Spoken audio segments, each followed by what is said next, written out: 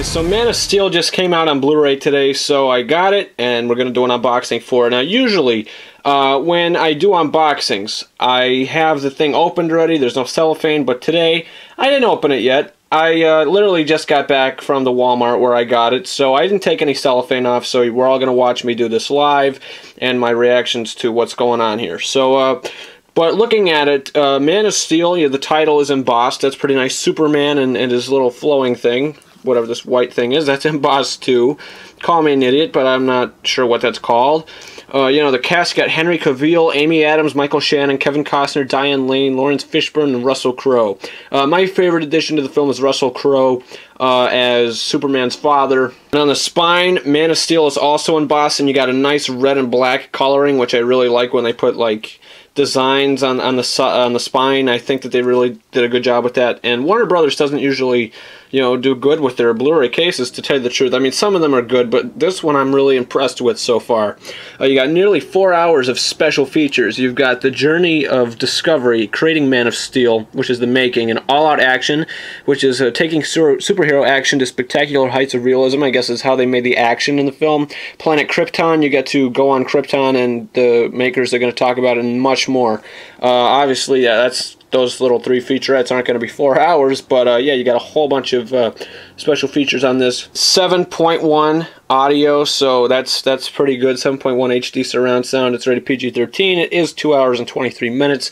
Uh, when I did see this movie in the theater, I saw it twice. The first time I saw it, uh, I think I was being too hard with it, to tell you the truth. I was I was criticizing it too much, and I do feel bad for that. So when I saw it again, uh, I realized, you know, this is not that bad of a movie. I just think that they could have handled the character structure uh, a little better with this. So opening it up, we get the same artwork. You know, I think that's uh, it's actually pretty nice. This is uh, one of my favorite uh, Blu-ray cases of the year. I can't tell you it's one of my favorite Blu-rays, but I do like the the the slipcover. Now here we go. We're gonna get the box cutter. Last time time I used a box cutter, it didn't end well, so I gotta be uh, kind of careful with this thing, and I don't want to ruin anything. So here we go, opening it up.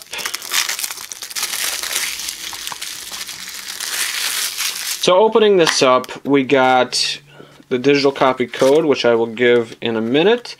We have a Blu-ray of Man of Steel, and uh, that's pretty interesting. The second disc of the Blu-ray. I guess there's two discs, and look what they did. I I really don't like it when they when they pile discs on top of each other. Now I don't know. Call me weird, but the DVD gets its own side for me. So I'm putting the special features Blu-ray on bottom, and the movie on top.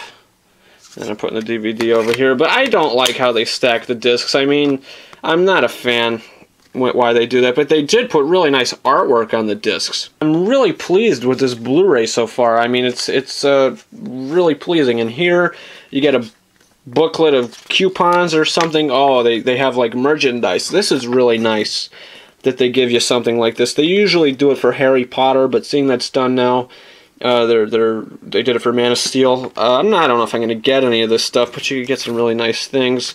Uh, I'll look into that more later. And the digital copy code. Here is the code for Man of Steel. Three easy steps, as it always says on every single digital copy code. Use it to the best of your advantage. I won't be using it, so if you use it and it works and you get something, congratulations. You know, I, I hope you uh, hope you get something. I hope it works. And uh, yeah, there's your digital copy code.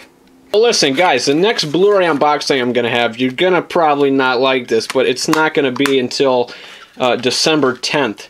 That'll be the new Blu-ray unboxing for Fast and Furious 6. Uh, yeah, I know it's a long ways away, but films such as This Is the End, Pacific Rim, We're the Millers, The World's End, maybe some other movies mixed in with there, but those new releases, I, you didn't see a Blu-ray unboxing for those, and you won't because those are films that I will be getting for Christmas.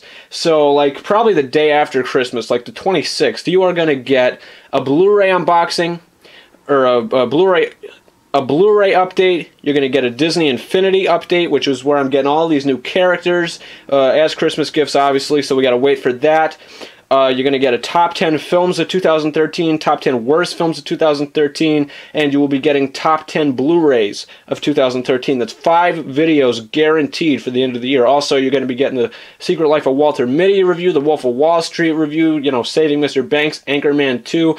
All this stuff is coming to the channel. and, I mean, since this is the last Blu-ray unboxing of November, doesn't mean it's the last video. We're still going to have, you know, the Hunger Games review. That's right, I'm reviewing the first one, then I'm reviewing the Hunger Games Catching Fire when it's released. I'm going to review Frozen. So, yeah, you got a whole bunch of stuff coming to the channel in future days, so subscribe so you can catch all that. So, guys, once again, thanks for watching this Blu-ray unboxing for Man of Steel. I hope you subscribe, comment, tell me, are you excited for Batman versus Superman? What do you think? Are you happy that Ben Affleck was cast? Do you think Christian Bale should return? I personally like Bale. Bale's my favorite Batman, but you never know. Bat, uh, ben Affleck might surprise us. Once again, guys, thanks for watching.